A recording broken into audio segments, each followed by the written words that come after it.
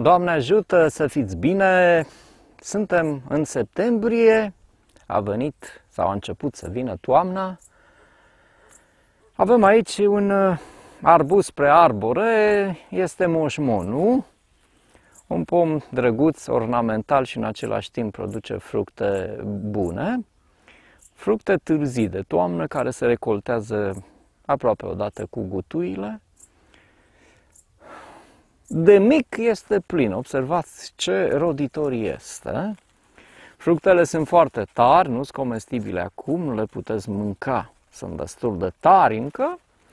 Ehm, ele urmează să se culeagă la sfârșitul septembrie, începutul octombrie chiar și se lasă în lădițe pentru ca să se coacă undeva în 3 săptămâni, o lună, încep să se coacă, Mm, vor fi ca un gem în lăuntru fructei, se moaie fructul, poți lua cu lingura, delicioasă.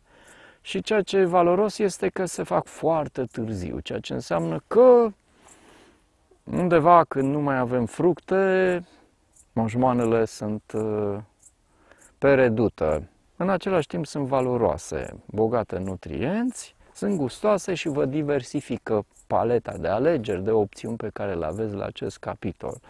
Eu l-am pus, nu mă omor chiar cu fructele atât de mult, îmi plac mai mult roșiile, probabil că ați văzut că salivam când prezentam roșiile, dar uh, îmi place de ornament cel puțin și nu, din când în când să mai gust și câte altceva.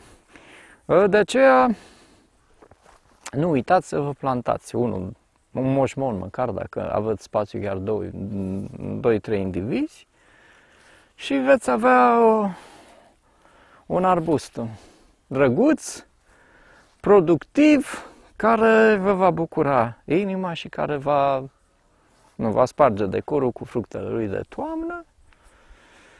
De aceea, prieteni, nu uitați de Moș Mon. Căutați pe net și găsiți Moș Mon. Eu l-am luat de undeva de la Atlas Plant, o pepinieră de prin Tulcea, dar se găsesc la mai multe pepiniere. Îi dați Moș Mon de vânzare pe Google și găsiți ce, ce doriți.